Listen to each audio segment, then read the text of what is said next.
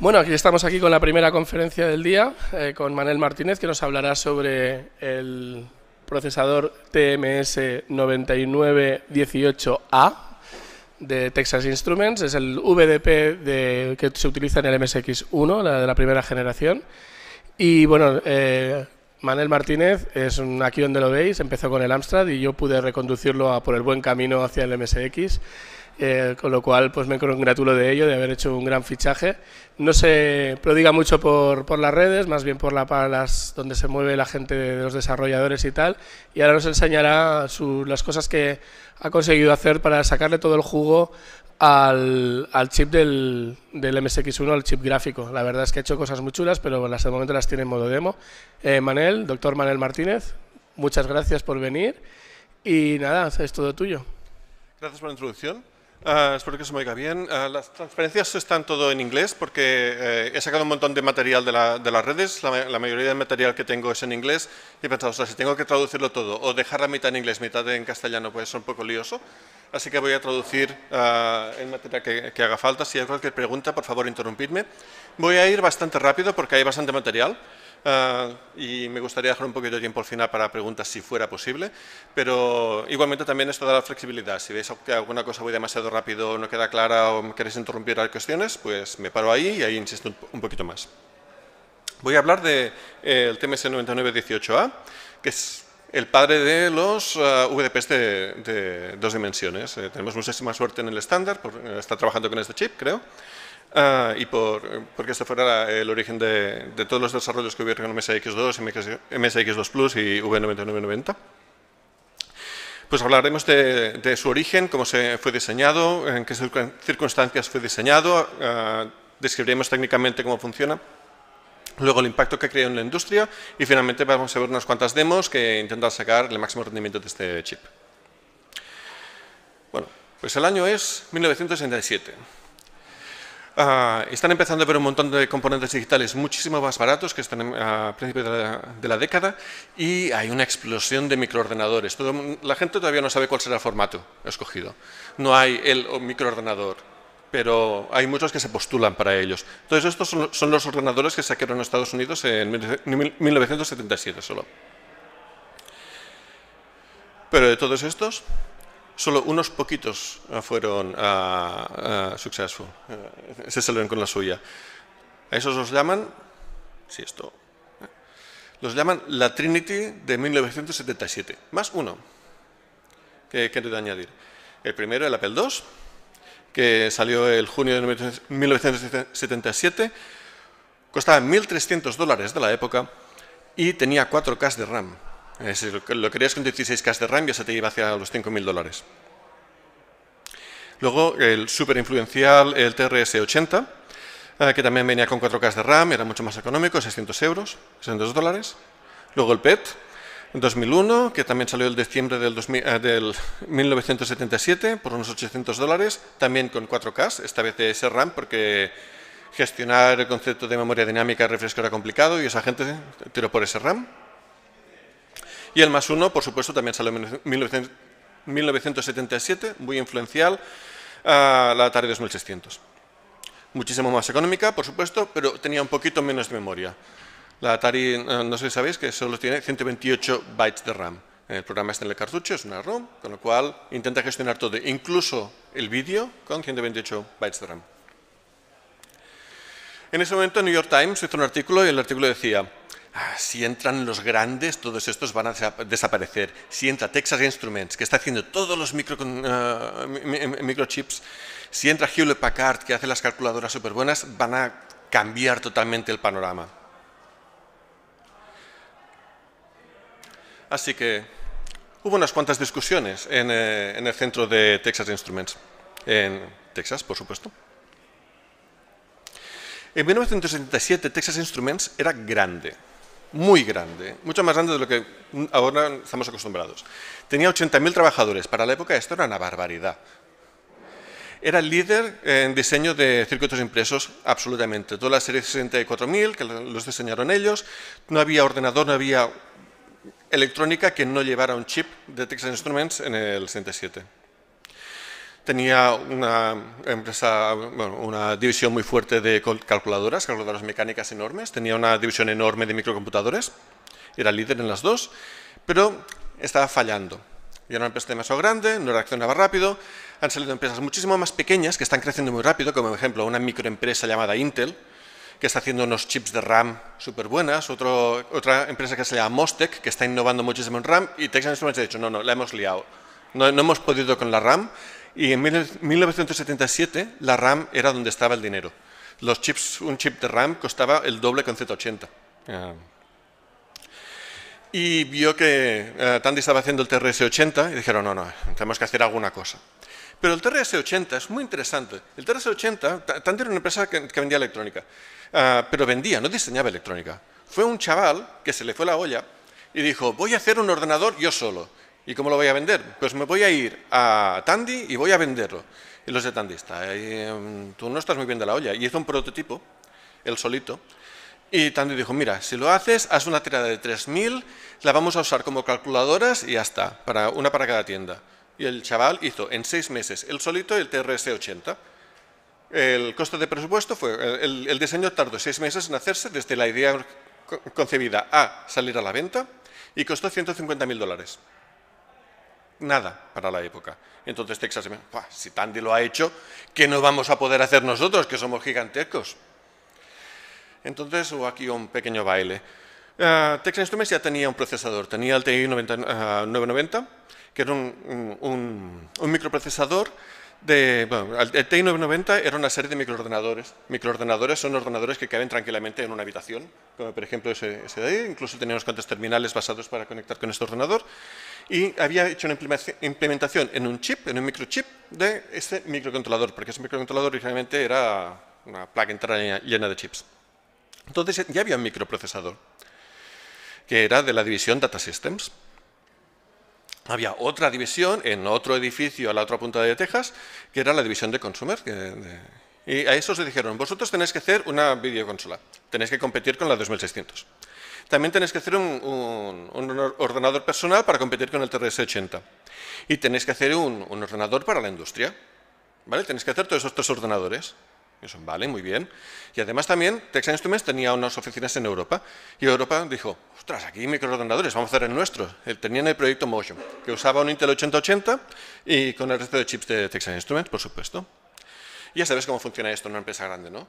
Pues fue una batalla campal por los recursos, por los ingenieros, unas peleas absurdas, para ver quién tenía nada. Lo primero que hizo Estados Unidos es cargarse la división europea. Dicen, vosotros no vais a hacer nada.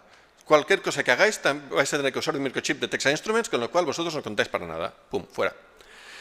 Y luego la división de consumer dijo, oye, mira, un ordenador de, business empresarial, nosotros no, no, pintamos nada aquí. ¿Qué hacemos? Mira, se la pasamos a la división eh, profesional. La edición profesional dijo, un ordenador barato que va a competir con nuestros ordenadores que vendemos a un millón de euros, ni locos.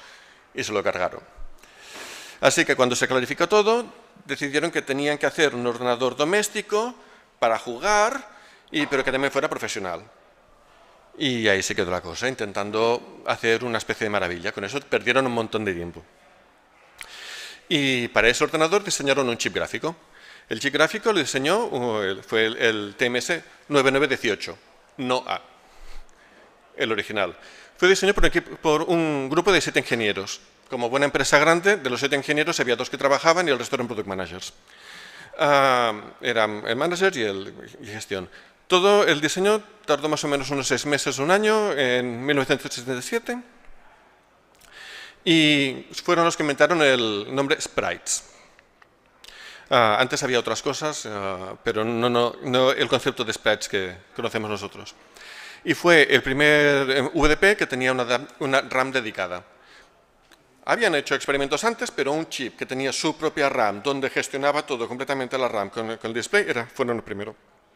Y podía llevar incluso 16K de RAM, que es una auténtica locura. Los ordenadores enteros llevan 4K. Y esto fue terriblemente influencial. Y voy a usar un montón de referencias del señor Carl Gutak. Carl Gutak es un chaval que se eh, sacó la carrera de ingeniería en Estados Unidos y el primer, eh, el primer trabajo que tuvo fue en Texas Instruments y fue, mira, tienes que diseñar un chip gráfico. Y él, vale. Y, el y le encantó, por supuesto. Es el primer trabajo que te dan después del trabajo. Además, un trabajo que salió muy bien y está orgulloso, enamoradísimo. Ha dado 500.000 entrevistas y no se corta un pelo. Es divertidísimo ver lo que dice este hombre. Voy a pillar solo unos cuantos detalles. Ha puesto un montón de documentos en esta, ah, en esta dirección que podéis ver después. Y él explicó, el, el, nombre Sprite lo inventamos en el 9918 y lo inventó un manager que se llama David Akeley. Y yo fui uno de los dos ingenieros que lo implementamos en eh, toda la arquitectura. Hablamos de RAM, ya he dicho, los ordenadores en 77 solo tenían solo 4K de RAM, muy poquita cosa. Entonces he sacado unos cuantos anuncios de la revista Byte Magazine del año 77, ahora que hace poco han vuelto a escanearlo todo. Una tarjeta de 4K de RAM, tarjeta enterísima, costaba 90 dólares. Esos son 4K. Pero la tarjeta es muy lenta porque tiene un montón de chips, tiene que no puedes realmente poner esas tarjetas. Además, acceder a ellas necesitas un montonazo de pins. Es súper caro. No, necesitas un chip que sea integrado y que tenga un montón de memoria. Y en el 77 se presentó el Mostec M4 4116 que tenía 16 kilobits. Este chip en algún momento de los 80 llegó a tener el 70% de la cuota de mercado todo el mundo lo usaba. ¿Por qué? Porque era muy pequeñito de, medidas. Accedías a la RAM ah, mezclando ah, las líneas de memoria y las líneas de datos, cosa que nadie había hecho hasta entonces. Y lo usaron en el Apple II, el TRS, el 80 el PET, el, PC, etc. Era barato, relativamente, era muy rápido y, eh, y consumía poca electricidad. Era caro. Era caro de narices. El chip solo eh, costaba, si lo podías conseguir, 42 eh, dólares. Estamos hablando de un kilobit. Eh, el chip es tan influencial que alguien lo ha decapado, ha mirado por dentro cómo funciona, es muy interesante, no es solo una, célula muy sencilla, es realmente muy interesante cómo está diseñado. Y aquí hay una dirección si queréis ver al, al, chaval que hace un análisis a nivel de transistor del chip de memoria. Bien, pues ahora quiero hacer una comparación. Tenemos un chip con memoria externa del año 77. Si cogemos la memoria que necesita, son 336 dólares, que equivalen a unos 1.700 dólares de ahora mismo. Más o menos lo mismo que una RTX 4900. Es decir, lo que estaban haciendo eran, eran la envidia de la época, eran los chips de súper alto nivel, los mejores, lo que podían realmente petar el mercado.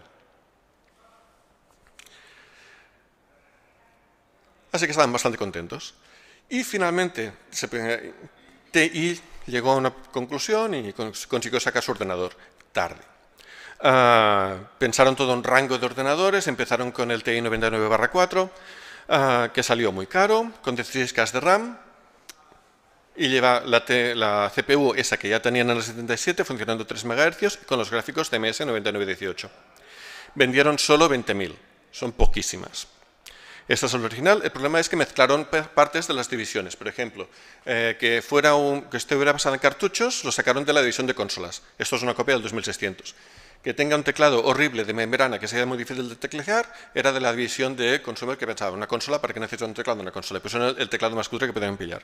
Y vendes un teclado cutre, sin memoria de, uso, y, una CPU lenta, y además lo vendes caro, el New York Times, el mismo, esto es un fallo embarazoso de Texas Instruments, como lo han liado tan gorda.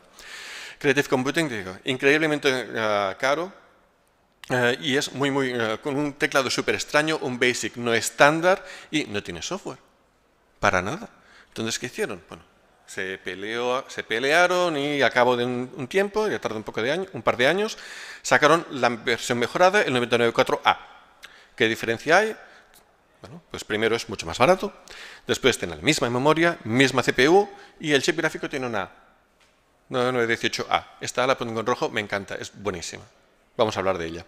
Vendieron 2,8 millones. Este es un número más razonable. Ostras. ¿Por qué vendieron tanto de este? Pues porque Commodore se la metió doblada. Commodore decía, ah, no, no, voy a vender ordenadores súper baratos, muy baratos. Y Texas Instruments dice, no puede ser, quiero cota de mercado, voy a venderlos igual de baratos. Y empezó a, haber una guerra de mercado, a ver que vendían los ordenadores más baratos, y el PET, el, TI, ah, luego salía el VIC, el VIC 20, eh, y había una guerra increíble ahí, y al final el TI 99 se estaba vendiendo por 99 dólares. El T99 era carísimo de fabricar Costaba muchísimo más de 99 dólares, pero lo estaban vendiendo por 99. Estaba perdiendo dinero. ¿Por qué perdía dinero? Porque TI quería cuota de mercado, querían ser los mejores, y tenían un sistema, decían, a ver, ah, un, sistema de licencias. Tú no podías programar para este ordenador. Tenías que, no podías programar para los ordenadores si no tenías licencia de TI. Lo mismo que Nintendo.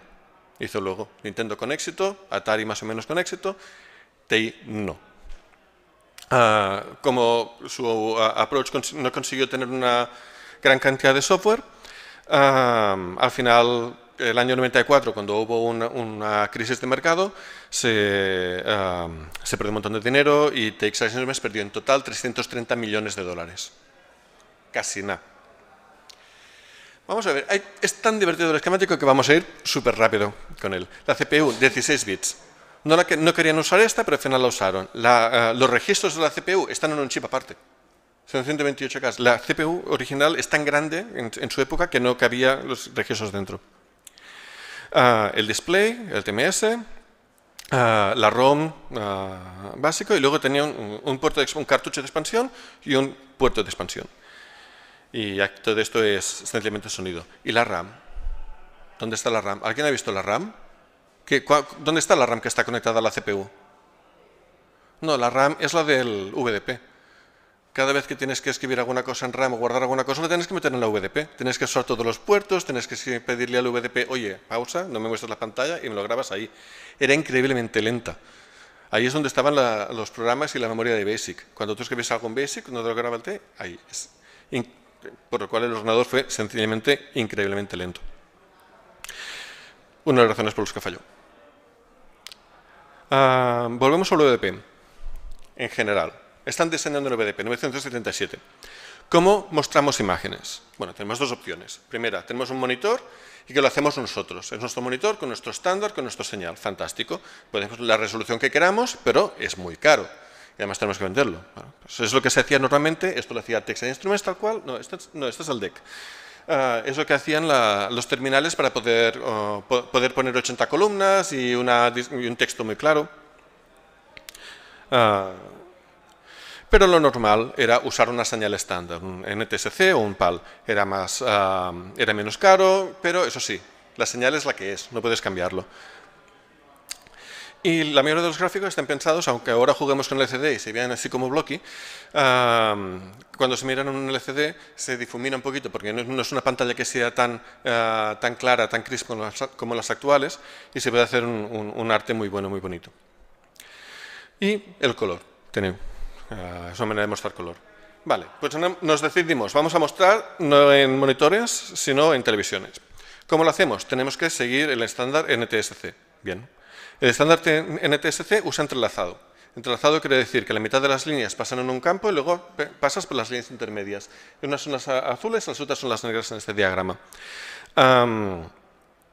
Pero eso es muy difícil de, gestionar y la mayoría de, chips, empezando con, este VDP, dijeron, no, no, si hacemos una cosa un poco falsa y damos señal a, a NTSC que siempre mostramos solo uno de los dos campos, podemos mostrar 60 frames por segundo en vez de 30 frames por segundo y así no tenemos que guardar la mitad de la imagen ah, en memoria.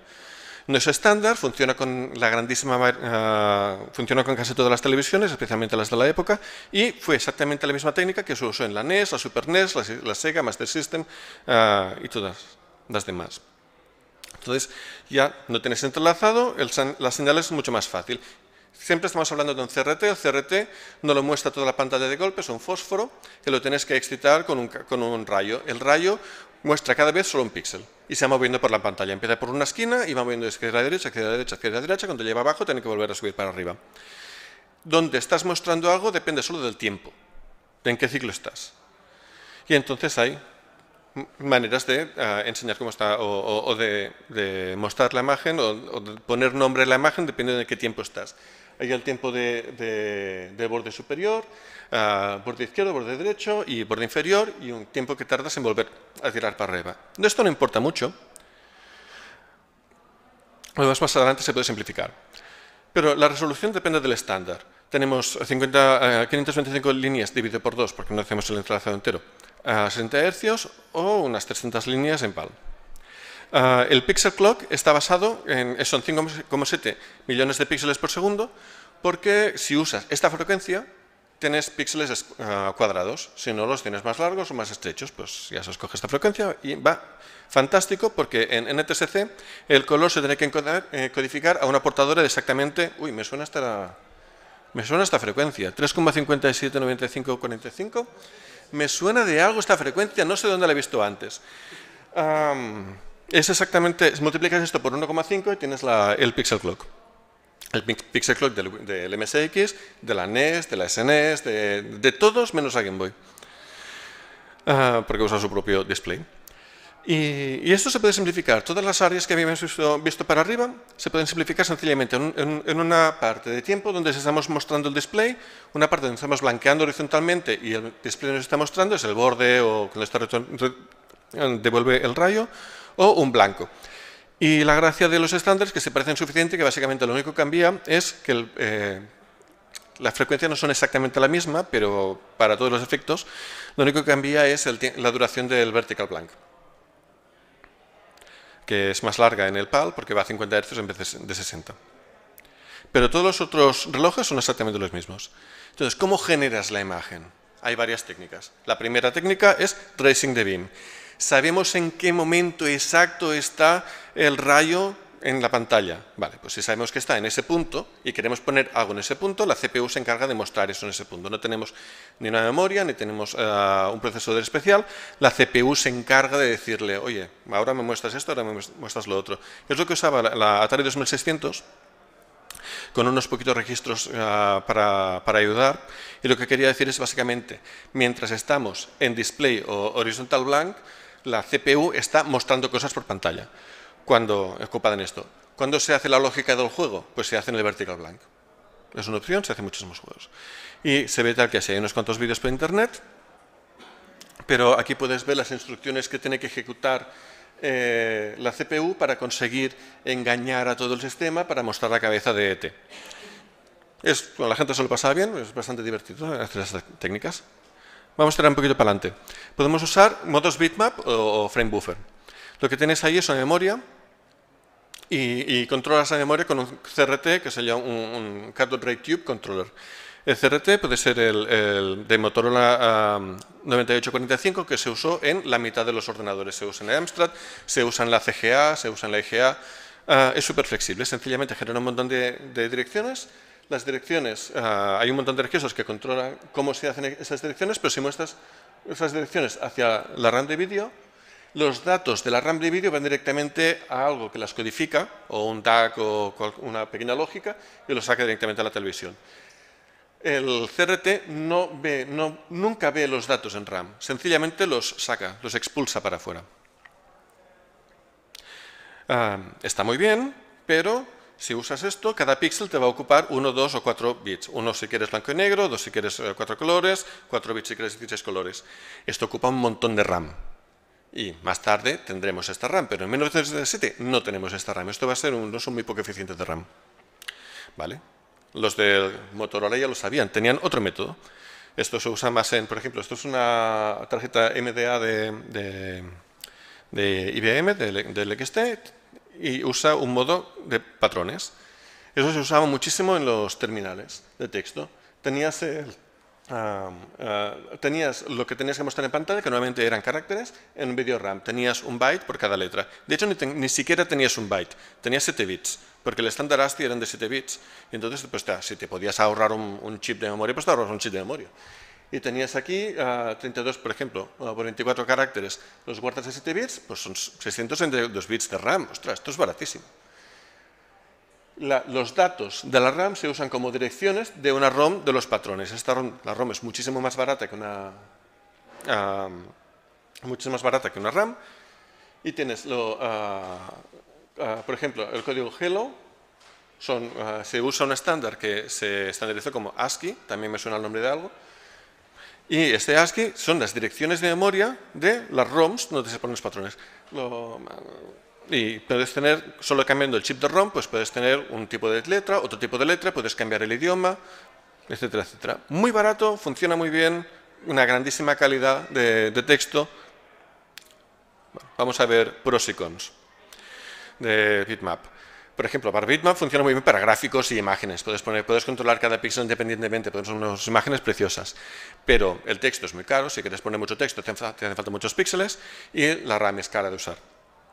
Por otro lado, puedes usar modo de patrones. Los patrones son un texto precioso. Puedes usar la RAM de forma muy eficiente, pero no está optimizado para imágenes ni gráficos. Ah, bueno, no, se puede ganar siempre. Ah, tenemos otra dimensión.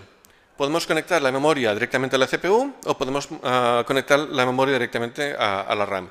Problema de conectar la CPU que ya tenemos, ah, tenemos que multiplexar el acceso entre la CPU y la VDP a la misma memoria y a esto es un hack. Cada ordenador lo resolvió a su manera, no es muy estándar. O puedes tener un sistema de comunicación entre la CPU y la VDP y cada uno su propia memoria y mira, con tu memoria haz lo que quieras. Como los de TI no les gustan los hacks, la resolución era fácil. Ventajas y desventajas. Pues con la memoria compartida eh, tenés, mejor conexión entre la CPU y la memoria y tienes un poquito más de flexibilidad, pero la arquitectura es muy hacky. Si tienes RAM dedicada, la arquitectura es muy limpia, puedes tener un, rendimiento muy bueno tanto de la CPU como de la VDP, pero puede costar porque tienes que meter memoria en la CPU y tienes que meter memoria en la VDP. Bueno, pues digamos, hay diferentes ventajas y, cada ordenador pues escogió unas ventajas, unas desventajas y te puede ser desde el CPC eh, o el Spectrum que usaban memoria compartida en modo bitmap o el ZX81 que no tenía suficientemente RAM para bitmap, entonces usaba modo de patrones total o las terminales antiguas, pero el Amiga, por ejemplo, le tiraba de modo bitmap con memoria muy hacky, depende de cómo la pillas, y, o, el IBM PC o incluso las NVIDIA ahora que tienen ah, su propia memoria en la tarjeta gráfica, por supuesto. Y por aquí abajo vemos esta categoría, no, suena de algo, ¿no? Las consolas, la Game Boy, la, NES, la, la Game Gear, etc. Uh, hostia, qué tarde que voy. bueno, da igual. total, que Texas Instruments dijo, no queremos una cosa que sea hacky y, no, y queremos tener buenas imágenes, queremos poner color, queremos tener una cosa que sea un poquito genérica. vamos a ir a un chip de patrones con su memoria dedicada. Y, con esto, bueno, aquí voy, a ir muy rápido porque vosotros ya conocéis los modos gráficos del, del 9918. Tenemos un modo gráfico con 24 por 32 patrones, las 32 columnas, 24 líneas y tenemos dos colores por patrón y máximo 256 patrones en pantalla distintos. En modo texto, un poquito más ancho, hasta 40 columnas. En el modo multicolor, 48 por 64 píxeles y vamos a ver qué tal son. Pues tienen, eh, para texto fino va relativamente bien porque tienes el modo texto, para gráficos relativamente bien porque puedes definir tus propios caracteres en RAM y mostrarlos en pantalla. Para jugar es un poco así así porque no puedes controlar independientemente los píxeles de la pantalla y los, colores son un poco limitados, el multicolor está un poco limitado. Y ah, eso sí, usas bastante poca memoria. Muy bien. Ah, pero para imágenes, ostras, para imágenes vamos fatal. No podemos usar algo genérico, no, podemos poner una imagen de pantalla completa porque sencillamente no hay suficientes patrones. Pues entonces el, el Carl se emocionó mucho y escribió algo súper rápido, lo que él llamó el Super Pattern Graphics Mode. Y esto alguien lo escaneó, está en pantalla, son ah, cuatro documentos escritos donde explica, puedo hackear el 9918 y meter un modo con muchísimos más colores. No os lo vais a creer, es la caña. Y lo cuenta, el nuevo modo es mucho más flexible que, que los anteriores y solo requiere añadir 50 transistores al diseño. No vamos a cambiar el timing, no vamos a cambiar nada. Es el mismo Graphics 1, pero lo vamos a hackear para que nos dé un montón de, de colores. El único problema es que ahora vamos a necesitar como mínimo 12K para meterlo a todos los patrones. Bueno, pues estaba emocionadísimo. Os dejaré ahí la referencia y vosotros lo leéis. Y ahora tenemos el Super Pattern, también llamado en la documentación Graphics 2. La paleta, solo por completar, porque la conocéis, tenemos una paleta de 16 con ah, colores, con sus nombres, no se puede cambiar. Y alguien le preguntó a Calgutak, ah, ¿cómo se escogieron los 16 colores? Porque ah, entendí que el C74 había un artista y tal. La respuesta a Calgutak, ¡Ja, crees que había un artista? No, no, alguien nos lo pasó y miramos si se podían hacer o no se podían hacer y ya está, nadie le, dio dos vueltas a los colores. Por favor. El esquemático, ¿cómo se conecta? Muy rápidamente. Tenemos una conexión para la CPU, donde se conecta la RAM. La RAM va directamente, de forma muy baratilla y muy eh, sencilla, conectada al, chip gráfico. Y la salida. La salida hay dos tipos, luego voy a contar por qué. Los registros, no voy a irme con ellos, hay uh, siete registros de uso general de escritura, y usando estos registros se controla la CPU. Hay uno de lectura, y lo que puedes hacer es uh, uh, Uh, puedes activar una señal externa, puedes asignar uh, un direccionamiento de 6K, puedes cambiar el, tamaño de los sprites, hay unas cuantas tablas en memoria, puedes cambiar dónde están esas tablas en memoria, puedes cambiar el texto, el color del texto y hay unas cuantas cosas de gestión de sprites. puedes detectar colisión de sprites y puedes preguntarle si hay una colisión de sprites, cuál es el número del sprite que hace la colisión. Ah, ¿Cómo se mapea la memoria? Tienes cinco registros para gestionar cómo se mapea la memoria. Ah, la tabla de nombres ocupa de 600, 768K ah, y la puedes montar en un montón de sitios distintos.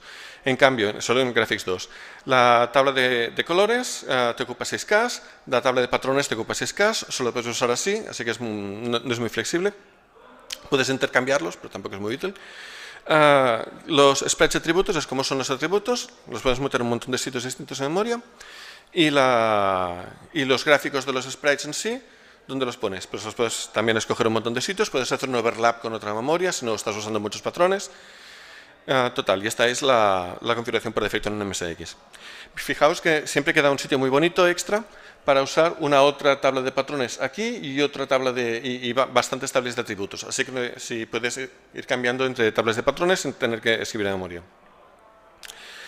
Modo de texto, no me voy a entretener, los textos son 6x8, um, el name table dice dónde está en la tabla de generadores y lo muestra. El multicolor mode es un hack muy muy raro porque aunque sean píxeles que se pueden controlar independientemente, en realidad sigue siendo un sistema de patrones el sistema Graphics 1. Hay unos juegos bastante chulos que se pueden hacer con Graphics 1. Ah, y luego vamos a ir al Super Pattern Graphics, donde se hace un pixel muy bueno. ¿Cómo se hace un patrón? Solo por completitud, porque todo el mundo lo sabe. Ah, aquí eh, hay, dos, hay dos tablas necesarias. El patrón, estamos mostrando este de aquí, y eh, el color. Entonces, eh, para cada eh, celda de 8x8 puedes seleccionar 0 o 1. Si es 0, pues seleccionas del pattern color la columna 0. Si es 1, seleccionas el pattern color la columna 1 correspondiente a esta línea. Esto quiere decir que tienes una limitación de dos colores por línea. Y así generas estas, estos gráficos. la, gráfica, la, la, gracia del Super Pattern Graphics es cómo vamos a meter 768 patrones distintos cuando solo tenemos un byte y el, para decir qué patrón vamos a usar. Pues lo que vamos a hacer es dividir la pantalla en tres. y lo de dividir la pantalla en tres sencillamente fue un hack para conseguir, sin cambiar los timings del chip, eh, poder direccionar 768 patrones. ¿Qué quiere decir? Que si tienes textos, tienes que copiar los textos en las tres pantallas. Eh, en la de arriba, la de medio y la de abajo. Ah, ¿Dónde está la gracia gigante del chip? Por supuesto, está en los sprites. Uh, sprites los puedes tener, uh, puedes seleccionar hasta 32 sprites, puedes tener máximo de, 4 uh, sprites por línea. los puedes tener de 8x8, 16x16, 32x32, con maximización y puedes detectar colisiones. aquí me ha fallado el texto por un tema de patrones, pero los sprites siempre van por encima de los patrones y un sprite con un número inferior va siempre por encima de un sprite con un número superior. Pero puedes poner color transparente, con lo cual siempre se ve el de abajo. Hay unos cuantos registros para controlarlos, no voy a ir sobre ellos, y esto es la documentación. Ellos dicen que tienen un montón de... En, el, paper, en el, datasheet dicen que tienes ah, la entrada en external ah, VDP, el backdrop pane, luego los patrones, y luego tienes ah, los sprites uno encima del otro. Ah, los sprites se definen con una tabla de atributos, 4 bytes define cómo va a funcionar el sprite, y luego hay el Sprite Generator Table, que es en blanco y negro, porque eh, solo se puede usar un color por sprite y se define con los, atributos. ¿Cómo se escriben los sprites? En tiempo real. No se graban en memoria del VDP, no los lee al principio del frame, los lee para cada línea. No tiene memoria el, 9918 interna para grabar los sprites. Eso quiere decir que cuando está mostrando la línea, está leyendo cuál van a ser los sprites visibles en la siguiente línea. Entonces, al final, en el borde, lee todos los datos de los sprites. Así que hay una... eh, quería poner el diagrama, pero lo he quitado al final. Y los sprites pueden usarse para, para hacer cosas muy interesantes y dar profundidad, sobre todo para perfilar se usa muchísimo. Es un, grupo, un, juego que a alguien le va a sonar, um, donde arriba está sin sprites y abajo con sprites. Pues con sprites se usa para, poner, uh, para perfilar y dar una profundidad muy grande a los gráficos. Por si suena. Y este juego uh, combina, uh, combina fantásticamente el concepto de máximo cuatro sprites por línea, porque cada jugador son dos sprites, más los dos sprites uh, de los enemigos. Y si os fijáis, nunca van a aparecer más de dos enemigos en la misma línea, porque así nunca van a haber más de cuatro sprites en la misma línea. Y se usan, y puedes, un uso interesante de los sprites, puedes tener unas combinaciones fantásticas. Bueno, el timing. Podríamos hacer este documento, que es el timing en papel, escaneado, también de, de Carl Gutak, pero vamos a hacer una cosa un poquito más sencilla. Uh, el TMS 9918 está limitado totalmente por bandwidth. Cada ciclo tiene un ciclo de acceso a memoria cada dos píxeles. Cada acceso a memoria eh, recibes 8, bytes, uh, 8 bits. Es decir, esto es una línea. Empezamos desde aquí, vamos leyendo una línea. Y aquí es cuando se muestra el primer píxel. Y estos son todos los ciclos que hay. Pues primero hay un ciclo de se leen ocho sprites, los ocho primeros sprites se leen antes de la línea. Luego se lee el, uh, el nombre del sprite, del, pat, del, patrón, que va a ser el primer patrón en, mostrarse. Y luego hay un slot para la CPU, porque es un diseño que tienen que quieren poner siempre uh, como mínimo un slot para CPU cada 16 ciclos de memoria.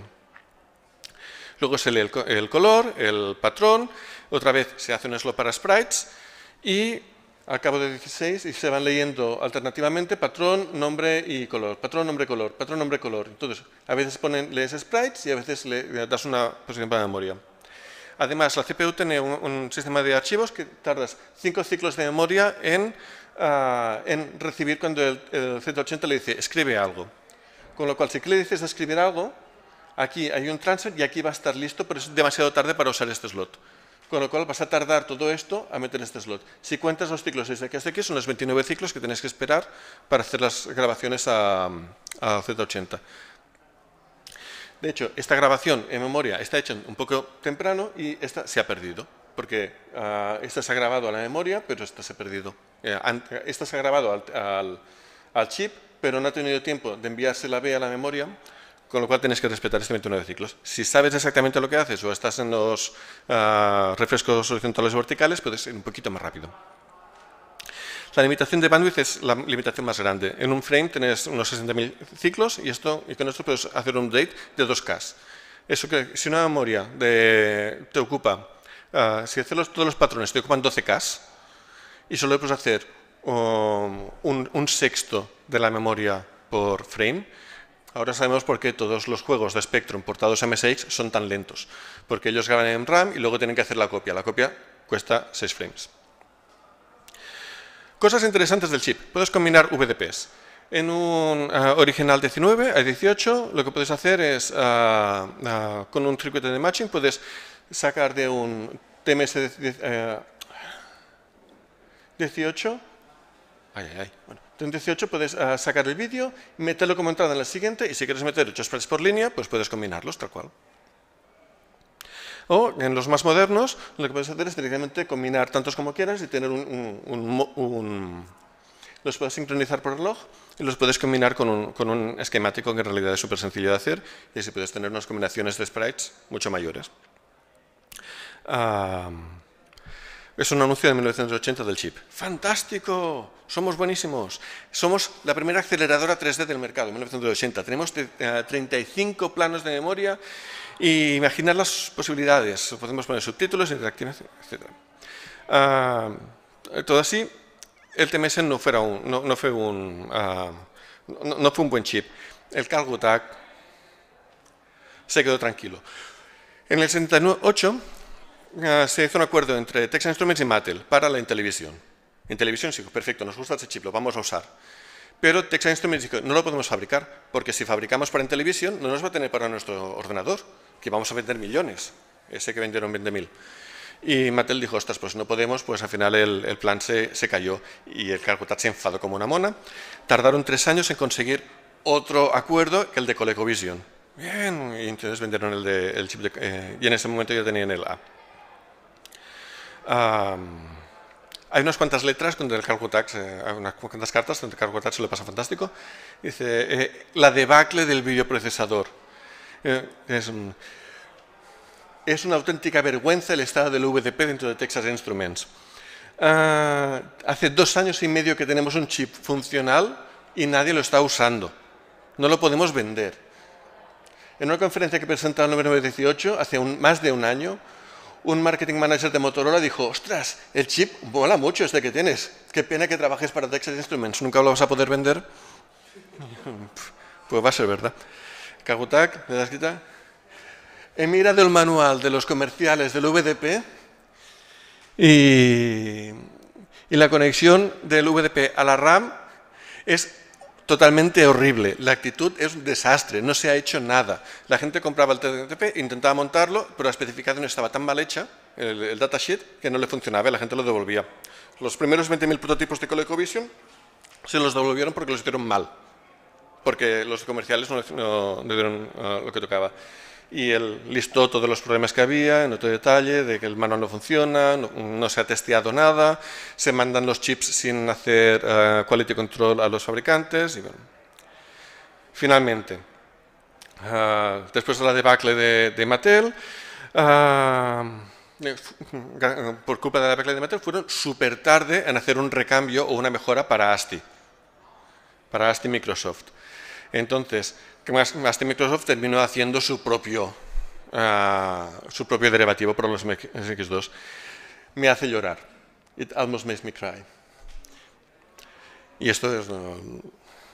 dice, ¿y, y, qué, y, qué, trato se hizo entre Yamaha y Texas Instruments para continuar desarrollando el número 18, por ejemplo, el número 38 y tal?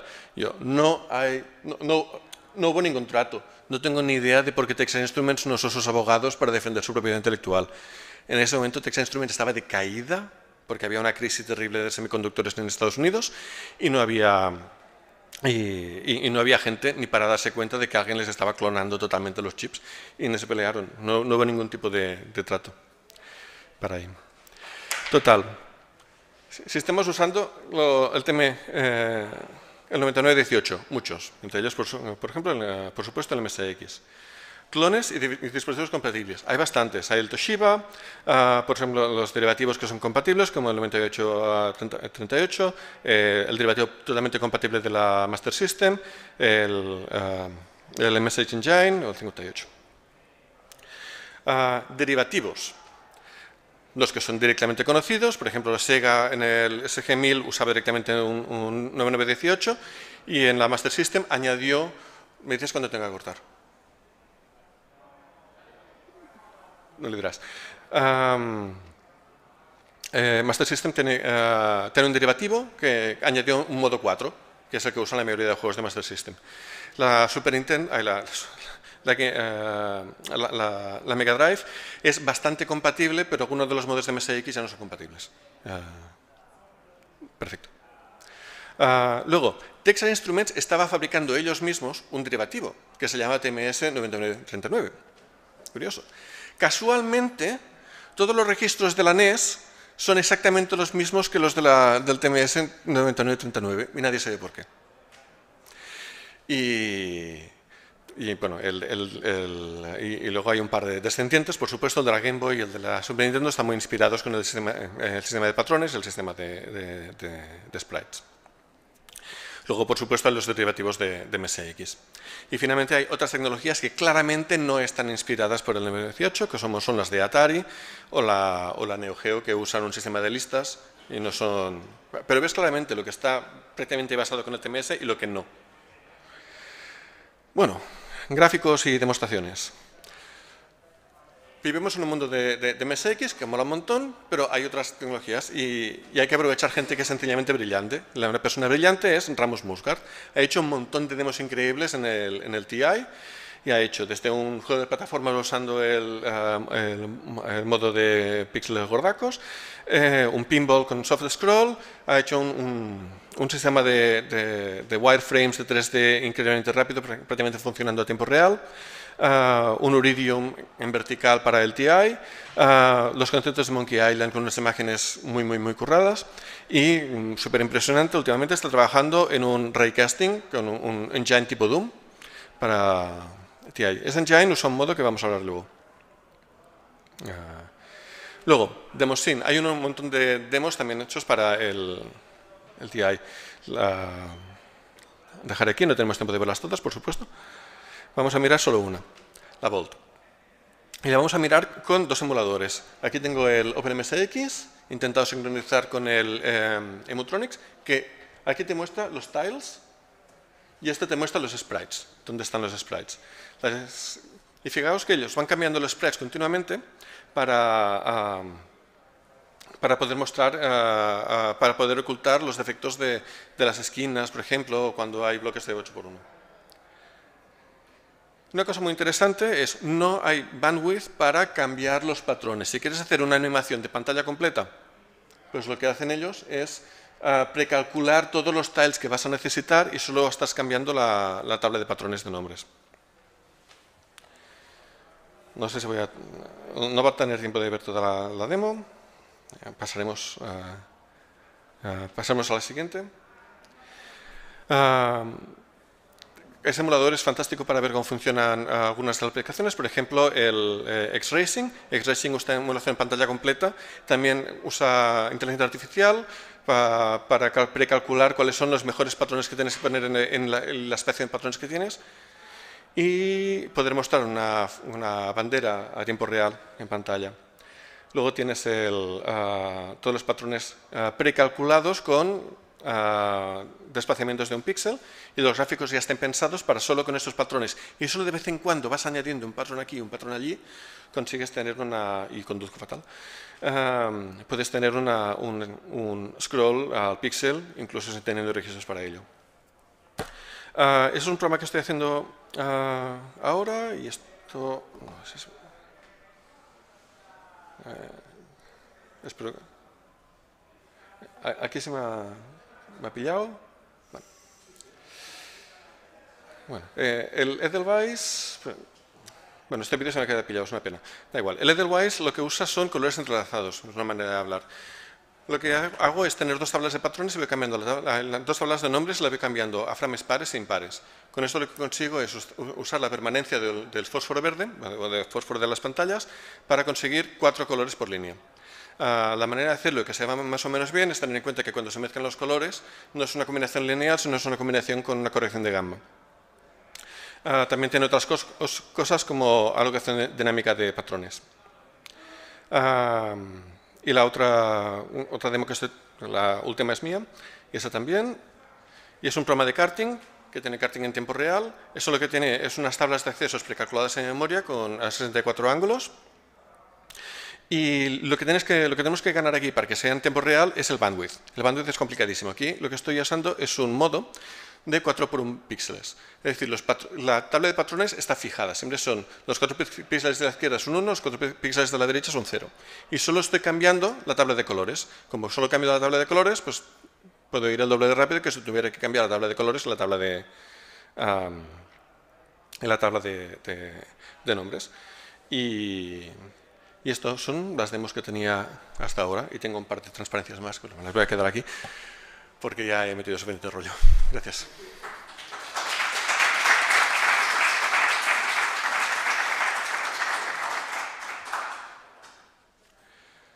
No sé si hay tiempo para preguntas, porque he quitado la mitad de las transparencias. ¿Alguna pregunta?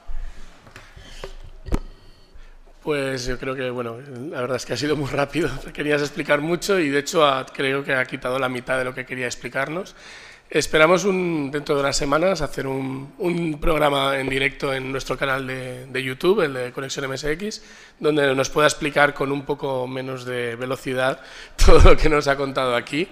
Y de todas formas, bueno, si queréis hacer alguna pregunta, eh, nos ha explicado un montón de historia del chip y yo creo que también el saber el porqué de ciertas cosas, como lo de los tiempos de espera entre cada vez que vas a hacer un acceso a, al VDP, el saber el porqué también ayuda un poco a entender después por qué tenemos que hacer ciertas cosas. Eh, nada, pues por, por, mi parte, si nadie tiene ninguna pregunta, eh, muchas gracias por, por, por, venir desde Alemania a, a, la RU, es su primera RU. Y bueno, él había estado en Nimega un par de veces, eso sí. Y bueno, pues muchas gracias por lo que te has currado de la presentación. Gracias por la invitación. Lo siento por la velocidad. Pensaba que era mejor cubrir bastante. Y, y, nada, muchas gracias a todos. Si cualquier pregunta me lo decís, voy a colgar en algún sitio las, las, presentaciones porque hay los links donde podéis mirar los datos con más tranquilidad, leer los documentos, las cartas de Calcuta, tener un montón de entrevistas, está entrevistado en YouTube también y vale la pena, es muy divertido. Nos hará un, un día nos hará un libro este, sobre el VDP. Casi. Muchas gracias a todos. Eh, ahora ya, pero ya podéis ir a, ir a comer. Eh, a partir de las 3 más o menos eh, haremos otro un programa un poquito mejor que el que hemos hecho antes eh, sobre lo que está pasando en la RU. Y nada, pues muchas gracias a todos.